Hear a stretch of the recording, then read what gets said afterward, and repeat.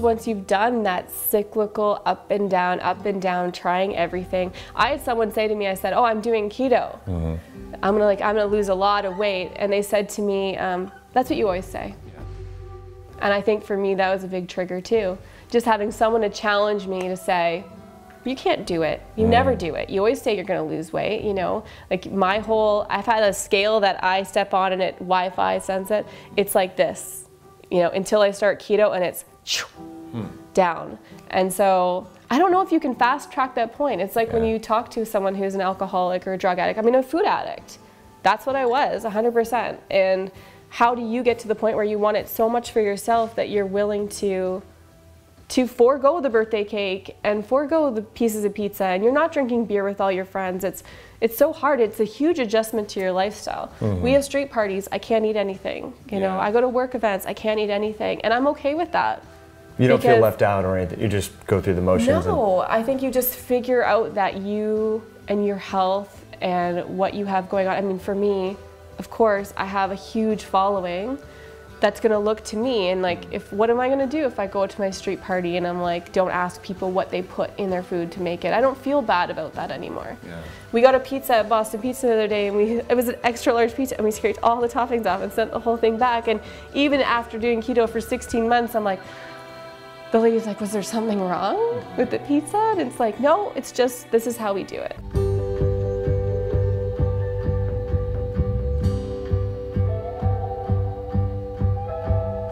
Hey friend, welcome back. That was Joanna Wilcox, and today we're going to learn how she lost over 65 pounds and completely transformed her life with a low carb, high fat, ketogenic style diet and exercise. And I want to underscore exercise because she will tell you in this short interview that was a huge shift, along with keto. Keto really helped with the cravings, with the mood, with the satiety, and other things. But we talk about emotional eating, we talk about emotional triggers for food and addictions, behavioral addictions. It's an awesome discussion brought to you by Perfect Keto, the maker of high quality exogenous ketones and MCT oil powder products to support your healthy ketogenic diet and lifestyle. They have a new product that our family absolutely loves. We just got this the other day and it's almost out. It's called Salted Caramel MCT Oil Powder. We put this in our coffee. I like to use this pre workout. Um, now, obviously, it's good to get into ketosis through fasting, through exercise, and a healthy diet. But the MCT oil powder and exogenous ketones can help you when you're exercising or when you're just starting out and making sweeping lifestyle changes. So if you go to perfectketo.com forward slash HIH, you can save $10 off your first order and get a healthy discount as well. So please support their mission. I know the owner, I know the raw material vendors, I know the manufacturer. These guys are very ethical, moral, they make great products, and what's on the label is in the bottle. So again, to save on these high quality products, you can go to perfectketo.com forward slash HIH. HIH is in high intensity health. So let's dive back into it with Joanna. Welcome back to another video. It's Mike Mutzel. Thanks so much for showing up and tuning in. We are in Joanna's house. She is uh, found on social media at Keto in Canada. Yeah. I like that. It has like a nice ring to it. I know. I don't know where it came from. Just, Just popped into my head one day and luckily it didn't exist there's lots of Instagram names that are taken yeah, already. I know. It's tough. You gotta, like, if you got on early, I think in like 09 or I don't know when Instagram came out, 2010 or something. I would have Joanna, just Joanna. Yeah. Nice. Some people, uh, I follow a football player, Earl Thomas, and he's just Earl. So. Lucky guy. Anyway, so today we're going to talk about your transformation. I think it's really profound. Um, you've been keto for 16 months yeah. now. Um, maybe let's just go back a little bit. Like, how did you first discover keto? What, yeah, it was a really weird way for me. I've done all the diets. Mm-hmm. I've done calories in, calories out. I tried Weight Watchers, not offline but online.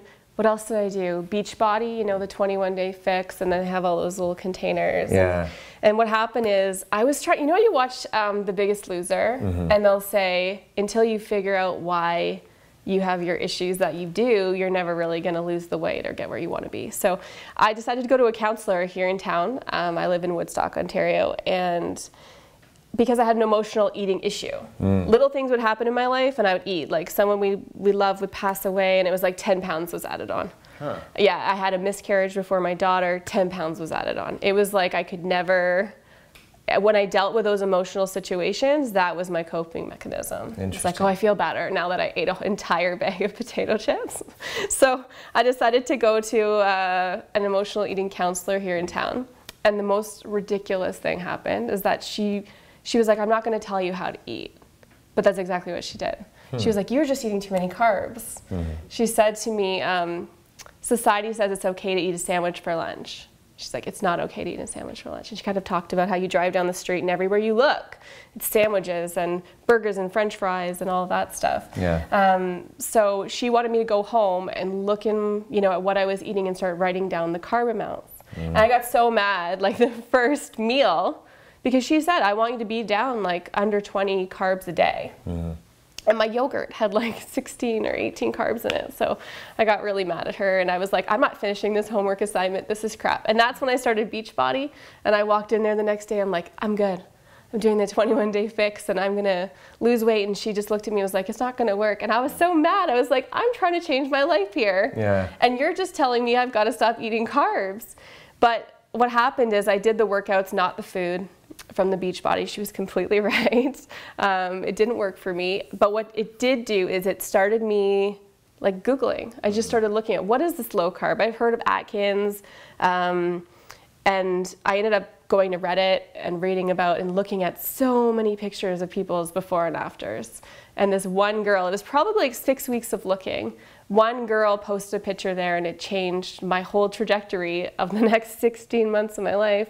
She lost 30 pounds in eight weeks and I had a trip to Vegas coming up and I'm like, well, if she can do it, I can, I can do it too. Yeah. it was crazy. And so I had done all the research and I woke up, it was a Thursday, it was De- December 1st.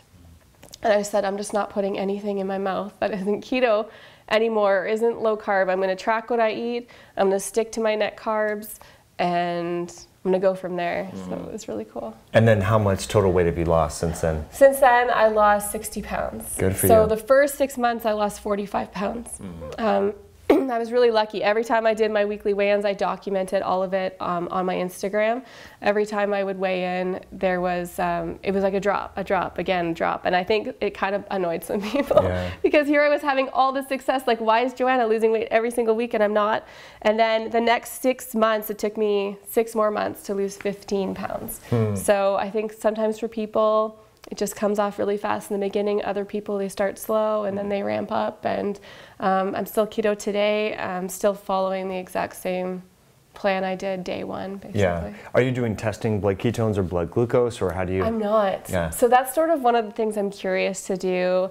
In my mind, it's always been like if you're 20 net carbs or less, you're keto. Mm-hmm. So why do I need to know how much in ketosis I am? Right. Um, or I did test my blood. I mean, my not my blood, my urine in the beginning Mm-hmm. because it's like, oh, I'm trying to do this.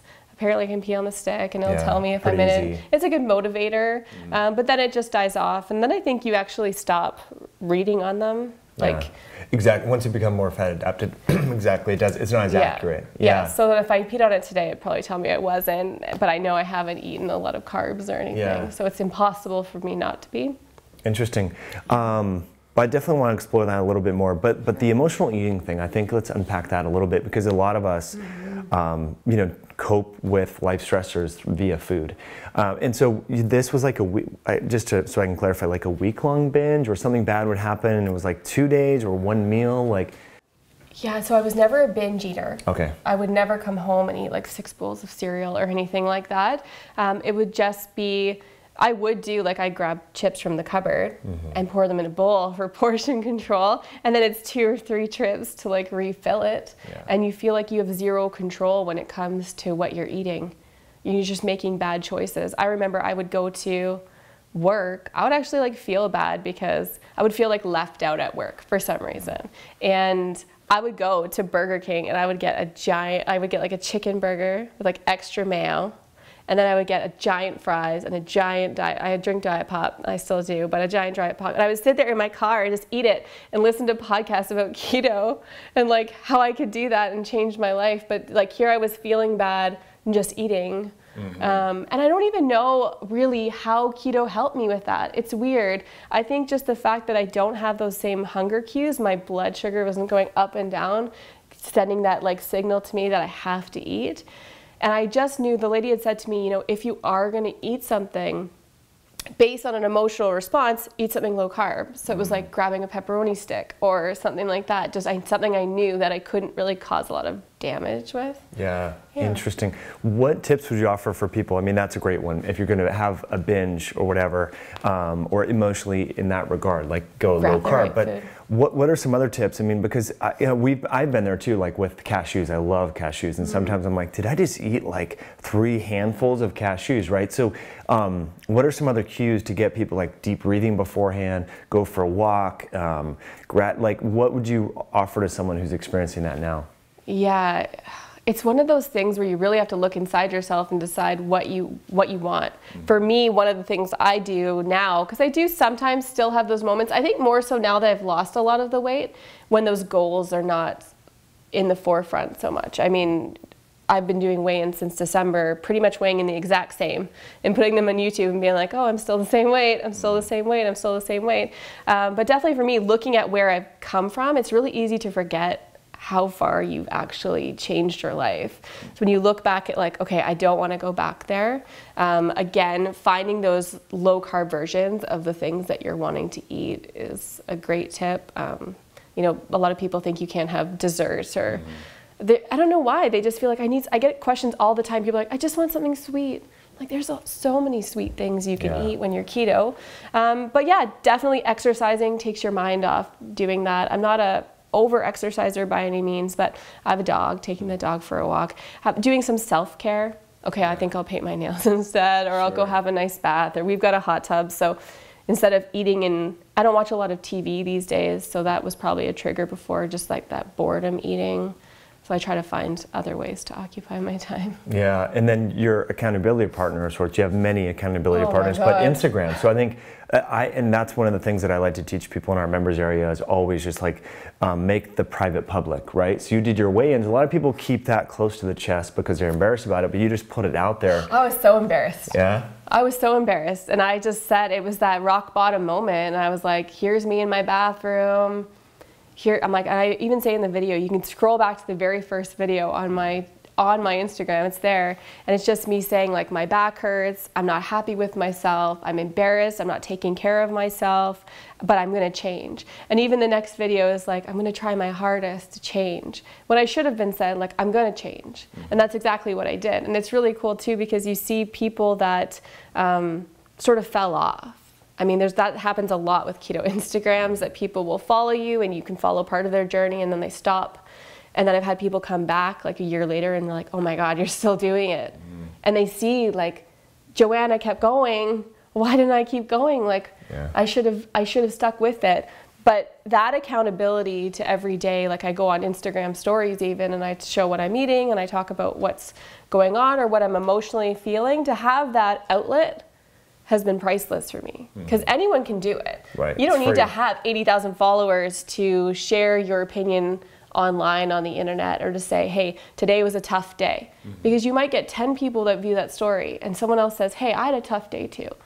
Here's what I did to get through it. Mm-hmm. So the fact that there's this keto community online was priceless to me. Yeah. I, it's invaluable. I would tell anyone who was doing it to go there. And yes, it was always public, and I was afraid of people to find it. And the first person that's that followed me that I knew, I was like, Oh, oh my how did they gosh. find this? Yeah. And I was like, okay. And I was, I think I was like 30 or 40 days in, and I was like, you've lost 15 pounds. Like, mm-hmm. Be proud of it. there's nothing to be embarrassed about. You're changing your life for the better. And now all those people are like doing keto and you know mm-hmm. they've been inspired by me to do it and if I never would have shared my story, there's a number of people whose lives wouldn't be changed. Like I get messages daily from people who say, "I just came across your before and after just by chance. I didn't even know about keto and now I've lost 50 pounds." And so the fact that I, now I can walk through my days and know that I've made an impact for other people just by sharing my day-to-day story is, is it's crazy. And to think that you know anyone can do that. Anyone who's watching this right now Right. can do the same. And it doesn't need to be a hundred people that they've affected, but even one person. Yeah. You know. Totally. it's really I, cool. I think that that message can transcend into business and life and anything if we just think about like uh, we get wrapped up into like our, our own self-centered kind of you know and insecurities and things like that but if we focus on helping other people Yeah. that you know whether it's making more money in your business so that you can serve your community or uh, eating making better i think like uh, pertinent to this conversation lifestyle and health choices nutrition choice, choices because it's affecting your own physique your children your energy your, your ability to be you know a great business owner marketing Yeah. person mother Right. etc um, so that's a wonderful tip, kind of making the private public and things like that. And then, but the amount of time that it takes to use Instagram, you, you kind of were saying like it does take a lot of time. Um, Do you batch some of the sharing? Like you just you're cooking real quick and then so I don't batch. Yeah. It's I should batch, but I don't. Um, everything I do on Instagram is sort of in the moment. I don't plan out my content at all. I need to. It's one of those things where I say like, okay, I got to think about what does everyone want to know about, and then I will plan it out and I'll take pictures beforehand and put it out. But it mm. doesn't end like that. Yesterday I posted three pictures of me standing in front of my mirror because that's where I was in that moment, and I try to post every day. And my stories aren't planned. It's Yeah. literally documenting my day to day. If we're at speech therapy with my son, I share that, and then people connect with me about that. Oh, so Oh, cool. it's gone from just being keto to pretty much else. everything. Awesome. People want to know what you're wearing and who does your hair and how to curl it and Yeah, all that sort of stuff. So I made a YouTube video about that, and I spent a lot of time responding to questions. Um, I do have a beginner's guide that I sell through my Instagram, so I, you know, I work with people in a private Facebook group about that. cool. I'm always answering questions, running macros for people, supporting people on their journey, and it's been life changing for me. Yeah. Yeah. Do you think that tracking macros is a nice first step for people that are new to this? I think it's always a nice step Mm-hmm. because for me, um, I I use MyFitnessPal to track, and even now, so after a year losing 60 pounds, now that I'm into like my fitness side of my journey, I'm at the point where I'm like, okay, I know what I'm eating. I know if I go to Pita Pit and grab a salad, it's this many net carbs, and I can kind of keep track of that. And I and I do sometimes have days where I'm not logging everything. But the problem I have now is I'm trying to eat enough to make sure my muscles are growing through my workouts, and so I can't just eat what I want Yeah. or not pay attention to it because then if I'm not eating enough, I'm not going to reach that next goal that I've set for myself. Mhm. And what is that? Is that a strength goal or is that? Yeah, so I think part of it is like image. So when I look in the mirror, am I seeing like, am I seeing my, is this a Traps and- yeah. I'm, I'm really bad with what everything's called. Even the gym machines and the workouts I do, I'm always asking my husband, but you know, I want the nice rounded shoulders and I want this. And I've got goals to do like a three minute handstand. I'm a big handstand person. Nice. I want to do the, walk or against the. I can walk, Yeah. but I want to be able to do like it's just a standard three minute handstand. I want to do a one arm handstand, so I practice like touching my shoulders, Mm. Nice. and um, Um, my trainer does stuff with me where mm. I'm, you know, I just did seven minutes of burpees, so we counted how many burpees I did. So I did 71. I'd like to get to 107 minutes, um, things like that. He Yeah. sets little goals. And just even I do yoga sometimes, and I just noticed I've been going for four months now to the gym, mm-hmm. and I was doing like a chaturanga, like a flow. Yeah. And in the past, when I would go from a plank to the ground, it was a soft landing. You know, I would thump down, but this time I could actually control Mm-hmm. my body going down. And so I'm definitely starting to notice strength changes for me. It's awesome. But yeah, I want to be able to do cool things I never thought I could do, yeah. like a pull up. That is so great. Yeah. Um, did you have an athletic background growing up? No. Okay. So No, this is zero. awesome. This is really cool. Uh, and I, what I love about this is because there's a couple different you know camps within the whole keto community. Um, just you know kind of the macro camp. There's a lot of people that are just fasting, and you're implementing time restricted feeding and exercise in Yes. addition to the macros. And I love that because, and this is a, a theory that I have, and I just you know feel free to botch it up, but I feel like. You, diet can get you to a certain point, but if you're not moving your body, you're not going to get to that next level. That's just my. Oh, yeah. Do you? Do you agree with that? Yeah, 100. Mm-hmm. percent Like how, how are you ever going to gain mu- like muscle strength if you're not breaking down the muscle and rebuilding it, right? Um, and I think too, like for me, diet got me so far where I was slim, but I still didn't like the way I looked. And maybe I'll never like the way I look. I mean, you're gonna have people that are like bodybuilders who have huge muscles and they'll look in the mirror and be like, oh, but this one ab is a little bit less than this one. Or, you know, I don't want to get to that Extreme, point, yeah. extreme, like where I'm doing bikini body competitions, although you never say never. That's not really in my vision right now of where I want to go.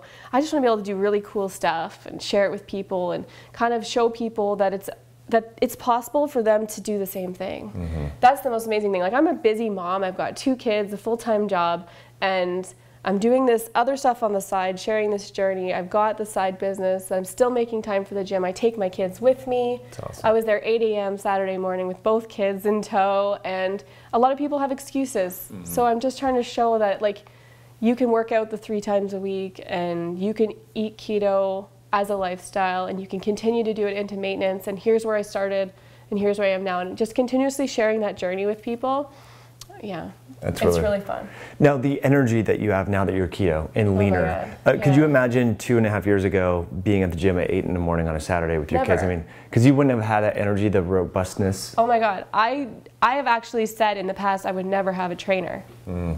Not like hundred percent never. Even when I was younger, I would play on a basketball team like at school, and we had a coach, and like I was constantly fighting with them over them telling me what to do. I don't really like being told what to do, so it's always like my way or the highway, sort of. Mm-hmm. If that's that's not really fair, but for me to say that, it's just I, especially when in physical capacity, I don't like being pushed Yeah. To do things, anything. I don't think most people do. But what happened after I was a year of keto, I kind of got to the point where I was like, well, what's next? And I was excited to change my body in a different way. It's like, if I was capable of doing this, maybe I'm capable of doing that. And now it's like priceless. Like a lot of us, um, especially women, I don't know, you walk into a gym and it's very intimidating and there's all these machines and you have no idea how to use them. And, you know, with Nate, I can go in there and I know he's correcting my form because I'm kind of a perfectionist. You know, if I'm golfing, I think of like the eight different steps I need to do to swing the ball right, and I'll never get it right. Um, and I do that now at the gym with him, just doing like a push press. Okay, I've got to like lift it a certain way and then move my head, and it's complicated. But having his support has made me know that I wasn't wasting any time. When I'm in that gym for 45 minutes with him, my positioning's right. He knows how much I should be lifting. Because if I went by myself, I'd probably lift way less. You know, mm-hmm. just I've got him to spot me. So it's been priceless. And I was like napping. My husband and I would like trade off naps.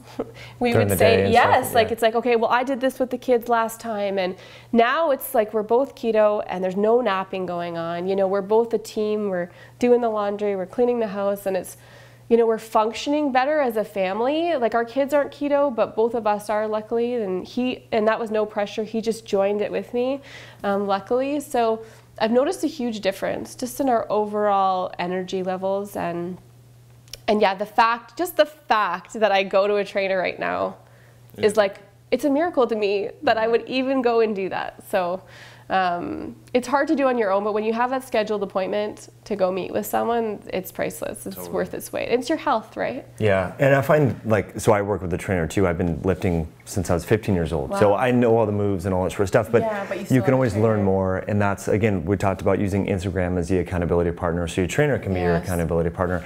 And I think it's good to always work with an expert, you know. But what comes up is sometimes people don't have money, they don't have the resources. Mm-hmm. So what would you say to them? Um, obviously, there's uh, Instagram and YouTube, tons of tutorials for free. Oh my God, yes. YouTube yeah. has so many at home workouts. A lot of the workouts that my trainer even puts me through are ones that you can do at home. So what I save, I share them on my Instagram. I say save this, and a lot of people say that. Like I love that I can do this workout at home. And so if you Google, like, or go on YouTube, look at at home workouts. There's so many of them, and they're all body, you know, body strength ones. And maybe that's where you need to start. And then maybe you get to a point where you are at a certain level of fitness where it's worth it to you to maybe not eat out so much because you want to put your money into some other avenue Yeah, such as point. training or your health right? Like i find that a lot of people say i can't afford it. And yes there are definitely people that can't afford it. And you know my husband and i are very lucky to have you know an above average income um, to be able to do those types of things. But there is a lot of excuses out there i find. Um, and trainers are very expensive but you know maybe look outside like look for people who are beginning mm-hmm. trainers. Starting like out. they're they're new ones. They're not at GoodLife. Like that GoodLife it's a big gym here. Mm-hmm. But they charge you like a lot a lot of money there. Look for the people that have their independent gyms their garage gyms the people that have some education in it and are willing to put the time in. Yeah, that's what I did in college. I, I went to people's homes and trained them in, in their home. Oh, nice. yeah, and uh, but I got as a trainer, I got frustrated with that because people just wanted to talk, not actually do the working out. And so I was like, Oh, they want well, a counselor Yeah, they just Yeah. want someone to ba- you know you know banter with, and I thought, gosh, this is there's got to be more there. So I went into a gym. But anyway, um, so that's really important. So, so moving, physical fitness, you know, having those goals is as important as like following your macros. I have to now. Yeah. Because like I've done everything else. Like you can't just keep losing weight. When you mm-hmm. get to a certain point, it's like okay, I have five more pounds to lose. But now what? Yeah. If, if you're not setting goals in life, I think that's it's kind of boring. Right. You know, I think it's always fun to like aim for the next thing, whether it is to just be able to do a handstand, Yeah. do something physical, set one physical goal and aim to reach it, and you'd be surprised how fast you get there. Totally. Yeah. Really awesome stuff. Let's go through the four um, hierarchies, if you will, or paradigms of change and, and highlight on that emotional connection. We're kind of going back a little bit, but I think that's important for people. Um, and maybe if you can fast track, so maybe what are those four? I'm not describing it properly. Yeah, so this actually I got from Dr. Phil. I was watching, and I don't get a lot, and it was all about a drug addict. The, the show was not about emotional eating at all. But what he touched on was the four stages for readiness for change. Um, and I ended up creating a YouTube video on it because it was so profound to me. I remember sharing it on my Instagram. Then I created my own video for YouTube because it talked about.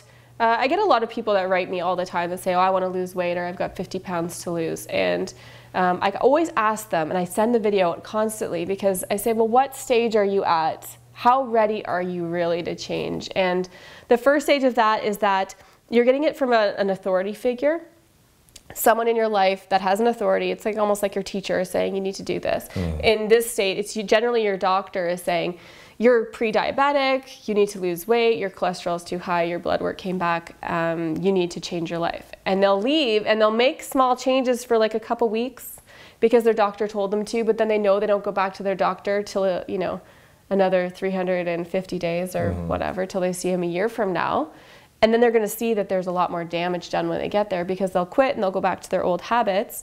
Um, the second phase is that someone close to you is telling you that you need to lose weight, whether that's your spouse or let's say all your girlfriends are really skinny and then you're the one that's overweight and they're making comments like, why don't you just try this diet or why don't you do that? And then you feel guilty and you feel bad about yourself. So you're not doing it for yourself. You're doing it for your husband because he wants to find you more attractive, or you're doing it for your group of girlfriends so you can fit more into that group. Um, and that's not going to work Yeah. either. If you're doing it for the wrong reasons, if you're doing it for any of those first two. Um, thirdly, is when you have um, you start noticing the physical effects of it. So um, you are running up the stairs and you're out of breath, or you're trying to play with your kids and like your back hurts and you're like, oh god, or you're putting on the pair of pants and you're like, oh no, They don't fit. I'm having to size up again. Yeah. This is not good. And that is like when you start to physically notice it, and you will start to make changes in that place. But if you're not emotionally ready to make those changes, you will always fall back. You might lose the 15, 20 pounds and feel momentarily happy and content with where you've gotten yourself to, but then you will eventually gain the weight back. Stage four is like your rock bottom. Like, I'm not going to take this behavior from myself for one more second, of one more minute, of one more day.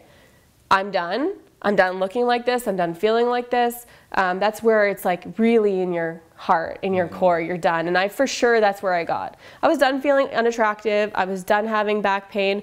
I was done sizing up my clothes.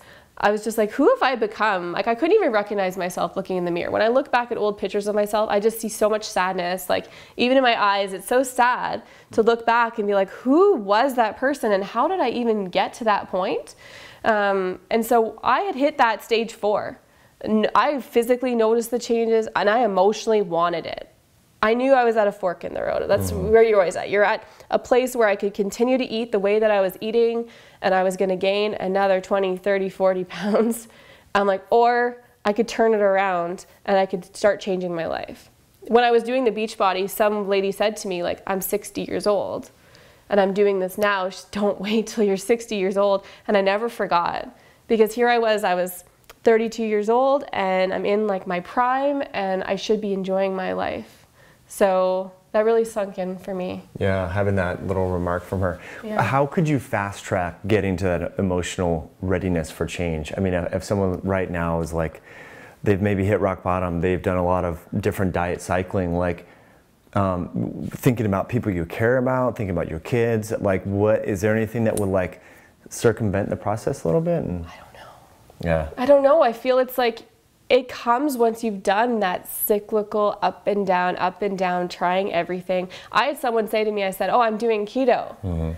I'm gonna like I'm gonna lose a lot of weight, and they said to me, um, "That's what you always say." Yeah. And I think for me that was a big trigger too. Just having someone to challenge me to say, you can't do it. You never mm. do it. You always say you're going to lose weight, you know? Like my whole I've had a scale that I step on and it Wi-Fi sends it. It's like this. You know, until I start keto and it's hmm. down. And so I don't know if you can fast track that point. It's like when you talk to someone who's an alcoholic or a drug addict. I mean, a food addict. That's what I was, 100%. And how do you get to the point where you want it so much for yourself that you're willing to to forego the birthday cake and forego the pieces of pizza and you're not drinking beer with all your friends it's it's so hard. It's a huge adjustment to your lifestyle. Mm-hmm. We have street parties. I can't eat anything you know? I go to work events. I can't eat anything and i'm okay with that. You don't feel left out or anything. You just go through the motions. and- no, I think you just figure out that you and your health and what you have going on. I mean, for me, of course, I have a huge following that's going to look to me and like mm. if what am I going to do if I go to my street party and I'm like don't ask people what they put in their food to make it. I don't feel bad about that anymore. Yeah. We got a pizza at Boston Pizza the other day and we it was an extra large pizza and we scraped all the toppings off and sent the whole thing back and mm. even after doing keto for 16 months I'm like the lady's like, was there something wrong mm-hmm. with the pizza? And it's like, no, it's just this is how we do it. Yeah. You know, and it's you have to become really comfortable in yourself when you live sort of an alternative diet lifestyle. People call me keto, like that's my nickname. They Oh, say, really? Hey, keto, Cool. come here. Yeah. Because that's just how they it's like it's become a part of who I Your am. identity almost My has changed. identity at this point, yeah. And I, I get people that ask me all the time. They say, "Do you are you going to be keto forever?" Mm-hmm. And I'm like, "Forever is a really long time. Like I don't see anyone committing to anything forever. Yeah. Um, but like I have seen no foreseeable future of me stopping. Right. No rashes, no migraines. I mean, we, we you hear different things people complain about, uh, particularly women. I, I hear this, and you may hear it too. You know, women that start keto, they get a rash where their menstrual cycle changes. Oh, I got they the rash. Okay. I got I got all that. Yeah. Um, right all here, all up here, and it was burning. I wanted to scratch through my chest. Wow. It was so bad, and I ended up going to emerge, and I've got two male doctors. And I'm like, tell me what is going on, and they're just like, well, it's contact dermatitis. Hmm. You got. I'm like, what is contacting my bra line? Besides my bra that I've been wearing for the past year, hmm. you know, like nothing had changed. But you look it up online, the keto rash is that mirrored image. It's like, like what if it goes up to my face? And there's a lot of things that can come along with keto. I did get a cream, it was like a Betaderm cream that they prescribed, and it did. It took like six weeks for it hmm. to fully go away. And what was it? I mean, from a mechanistic standpoint, you know, what what's the reason for the rash? I haven't looked into it. I don't know. Is it hormonal Some people say it can be detox? sweat, hmm. like where the sweat comes out and the ketones irritate the skin. I don't know. Hmm. I need to look more into that. Yeah, there's not a, I don't have a lot of information. I just know that that was what worked for me. And people ask me all the time, what happened? I say, see your doctor, you Yeah. know? Um, a lot of people get hair loss and luckily I didn't, I have like a little bit of like tiny little fly hairs, but Mm-hmm. I don't think that that personally affected me luckily. But I remember when I got the rash, I was day 30 Oh, okay. and I was deep at that point. I was like in tears because it all said like eat carbs if you want to get rid of it. And I was like, I don't want to eat carbs. Mm-hmm. Yeah, you're like, I made it this I'm far. Why would I I'm want to? doing keto now. This is like I'm dedicated to this. I'm not getting sidetracked. So, Mm-hmm. yeah, and that was I think I was 30 days in, no cheat meals or whatever, and now I'm almost 500. Nice. That's awesome. And I was a French fry Person, that was your like Oh, go-to. hey? Yeah, potato chips, French Yeah. fries. So a lot, you know, sometimes I drive by Wendy's or McDonald's and the parking lot is filled with people. Yeah. And I think to myself, because I've been eating clean, like it's just one of these things I'm inherently just naturally Mm-hmm. gravitated towards when I was very young. Um, and I couldn't imagine like eating that food. It must make you feel terrible. But you highlighted on food addictions. Yeah. Do you think, I mean, out of the percentage, there's a lot of people that have a lot of weight to lose, like 70% of North Americans or something in the adults, right? Is a lot of, there's a lot of stress or sleep, there's all these factors.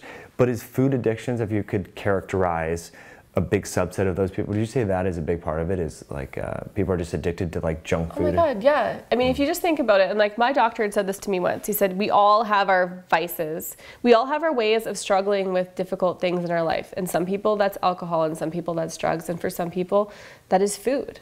And it's enjoyable to go out to eat. We like to go out to eat. It's just what we do. It's part of our, we just enjoy having someone else cook for us. Like, I will still go to Wendy's, I still go to McDonald's, I'll still leave work, go out for lunch, sit there with my salad at McDonald's and enjoy it and feel happy about that. And I, and I share it with people and I say, like, there are quick keto fixes for you when you're out on the road. And I don't feel bad about it. Yeah. Um, saying that you can go there and do that because I think for a lot of people it's really necessary when you know if you're a hockey mom and you're at tournaments all weekend and you're away from home like what do you do? Mm-hmm. there are resources and options for you out there. Um, and that, that aren't bad. I mean I go to Pita Pit and it's spinach and a little bit of tomato and some cucumber and some sprouts and there's nothing bad there. Yeah. You know it's all fresh whole foods. Even their chicken has no like additives. Hmm. And then you get some Caesar dressing on it, and you're looking at like 10 net carbs in a bowl. Yeah. You know, so I like the fact that there are options out there for people. But yeah, I mean, it's definitely an addiction that that high carb, high fat food. You know, people love that. They eat it. They feel it, it probably brings them back to their childhood too. Mm-hmm. Going out to eat with their family. That there's there's definitely an emotional thing when it comes to eating out as well. It's not just the food. Sure. Yeah. Well, and maybe the um, the brain chemistry changes, you know, because all that flood of, of glucose is going to affect norepinephrine and dopamine and all, right. all that sort of stuff. So so maybe it's, um, but it's funny that we kind of look to, and I'm not a proponent of drugs or anything like that, but we yeah. poo-poo drug drugs and gambling and sex and all that. But there's so many people that they, like you said, like their vice is food. Yeah. And so we all need to be aware of it. So there's a great book out there by Adam Alter called Irresistible. It's all about actually uh, cell phones and technology mm. and how so many of us are addicted to technology. Yes, yeah. But he does talk about gambling, drugs, sex, and food as well. So I think if, if folks, if you want to learn a little bit more about behavioral addictions, how to surmount them, and just to be, I think being aware is a good first step being aware Always. that like wow maybe i am addicted or have this weird relationship you know it's half the problem yeah Awesome. So we've covered a lot, Joanna. This has been great. Um, one of the questions I asked you before we started, you know, was like, if there was one or two things that you were doing, uh, maybe that you've changed now that you feel like, gosh, I wish I would have known that earlier. I Whatever. wish I would have known that earlier. Um, yeah. And it was hard for you to come up with, but is there anything that you're like, you know what, or a common problem that people uh, question you on Instagram about and then you solve it for them? I think one of the, the largest things for me that I found was like really key to my success is was my tracking and weighing things. Like I would weigh the food that I was eating. It wasn't just like, oh, I think this is 50 grams of almonds, you know, which people are overestimating, right? I get a lot of people that say that they're not, you know, they're not losing weight, but that's because they're just eating. There's a lot of uninformed people out there. It's even they find out what some keto foods are, so they'll eat some of the keto foods, but then they're also eating like high carb foods at the same time, which is like just a disaster yeah. for your body. It's like, well, I'm partially keto, and it's like you can't be partially keto. You either are or you aren't. Um, I'm trying to think of any other things. Like fasting, I know you said you, you at first did a lot of time restricted feeding, 16 hour fast every day. How, yeah. how important was that? Very important. Um, it was mostly important for my lifestyle because when I woke up in the morning, I didn't have to get myself fed, plus my children. I could just worry about them. They're not keto, so my house is filled with non keto, like they'll still eat stuff that I don't feel really good about, which is like that's sort of my struggle now is trying to now that we're kind of figured out trying to improve the food that my kids are eating. Mm-hmm. Um, but yeah, so being able to wake up and not have to eat until lunchtime and be able to take the four, I was eating 1,400 calories when I was losing weight, so to be able to eat those 1,400 calories over two meals and like a snack versus three meals throughout the day, it kind of just allowed you like a bigger salad because yeah. I eat a lot of salads. So when you have all your calories that you can eat in an eight-hour window versus a 12-hour window, yeah. it was just like larger, more enjoyable meals. Yeah. And then sometimes if I'm busy and I was like, I'm going shopping at the mall, like I used to go to the mall and be like, oh, mm. is it lunchtime yet? Like yeah. I used to go there. And now it's like, I don't got time for that. Mm-hmm. And I don't have to because I'm not even hungry and I'm just gonna keep shopping. I'm gonna keep burning this fat. And then when I get home, I'm gonna get like a big steak and I'm just gonna enjoy like a really big calorie dense meal and it and it's okay. So I find that people are always like, oh, you're starving yourself, or they don't really understand it. Um, but it's like, you're not, you're still getting all your calories in. Mm-hmm. And I actually get that a lot from people. They're like, oh, well, I'm a nurse and I'm busy and I just, I don't eat all my calories and it doesn't matter. And I'm like, you are hurting your body. Mm-hmm. Like, there's a reason why you have set macros that you need to follow every day. Because I find a lot with like intuitive eating, people can be very, very It's not really, we're irrational beings, right? So it can be emotionally yeah, influenced. It can be emotionally influenced, and Yeah. I find that like you're being unhealthy sometimes. So for me, tracking was always I definitely would have under ate if I mm. was saying I was intuitively eating. I know a lot of people find tracking like they'll be like, oh, that's so restrictive or it's such a limiting mindset. But for me, it was like, no, like if I don't make sure I get, and a lot of the times it was that I was at a thousand calories. And at the end of the day, I'm like, oh, I've got 400 more calories to eat. Hmm. What can I eat? That was a lot of the days, especially in the beginning. Hmm. Now that I've lost a lot of the body weight, I found that I need to like up my fat more than before because I was always like eat fat till satiated. Like I always eat, ate enough protein, if not going over. But the fat always just kind of fell wherever it fell. And now that I find that I don't have as much fat on my body, I am getting more hunger cues than I was Oh, before. to have more dietary fat. yeah to grab to get more fat into my body. So you know there's all these little things. It's never ending. Yeah. you're never Some- done with keto. And like i definitely never feel like an expert. I mean i've been doing it for so long and i still feel like there's so much to learn and there's all these little experiments that you can kind of do on your body to mm-hmm. try and see like well how does that make me feel if i do bump up my fat enough? Or you know when i up my calories by 400 calories a day when i started working i was like 100% i'm gaining weight. Yeah. I mean, I had that same mindset that every other woman has that they're that they're um, going to get fat if they eat so many calories. But for me, it was like, no, you're not going to grow your muscles if you don't eat enough calories. So, um, yeah, it's interesting to make the small changes and see how it affects you, how it affects your your mood or even your brain. Totally. But that's interesting. Like, uh, that, was my next question about with the exercise. You know, now that, um, how do you get enough? And, and trying to find that happy medium so that you're putting on muscle, but you're not gaining fat. And so I think, but the natural buffer there that exercise affords you a little bit more fudge room because you are burning off calories and you're more metabolically, uh, you know, fat Yeah. adapted. So, Yeah, Yeah, so I even eat the higher calories like on my off days. So now I'm just 1800 calories every single day, regardless if I'm eating, because you know you continue to burn. And I never gained any weight from doing that, and I thought for sure I was going to. And I never knew about that reverse dieting. You know, like where you increase your calories slowly. Mm-hmm. I just did it overnight. I don't know. That's probably a bad thing I heard, but it's what I ended up doing. I, I don't. I'm not an expert in all of that sort of thing, but. Um, yeah, so I was able to eat more, but now I actually noticed a little bit of issues with my short-term memory. Hmm. Yeah. oh, from eating more. No, Yeah. like um, just recently. Like if I'm at the gym and we're counting reps, I, I cannot even tell you where I'm at. Like if I didn't have Nate there to tell me where I was at, I totally lose where I'm at. Or like if I'm trying to record like a scripted video or something, it's very difficult for me, especially if I get distracted. So I don't know if I need MCT oil or something, but uh, my I find that I the short-term memories. Starting going. to notice something. Yeah. weird. Yeah, carnitine, uh, ginkgo might help with that. Fasting. Um, some high intensity interval training. Gosh. Oh, you know what might really help? Uh, do you do any sauna therapy?